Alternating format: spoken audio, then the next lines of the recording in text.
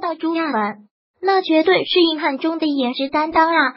这么帅还这么英俊，尤其是还痞痞的，更是让不少人爱上了他。荷尔蒙的称号也不是白来的，太吸引人了。关键是演技也很好，出演的作品也都很有质量保障。虽然有些不是什么特别大热的剧，但是收视也不错，而且受很多人喜欢。他虽然作品不多，但是他出演的几部，大家应该也都看过吧？而且没有一部是演技不在线上的吧？而如今这个被称为有质量的演员。他的新剧也被大家吐槽了，认为是预定的烂剧。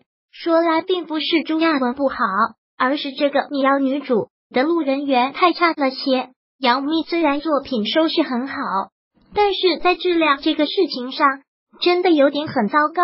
而且关于演技，真的是千年不变。用李少红当年说过的话，这可不是胡扯的，他是真的那么评价过。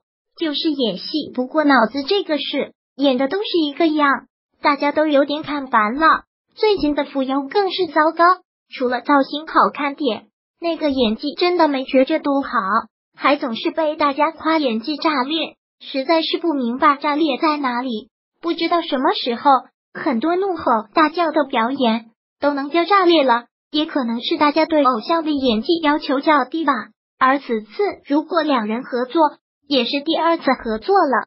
希望杨幂能够努力一些，不要像当初的在电影里，完全就是在衬托别人。当时看电影的时候，一直知道朱亚文的演技很好，但是在他的衬托下，真的觉着没有哪个影帝都是对他的侮辱。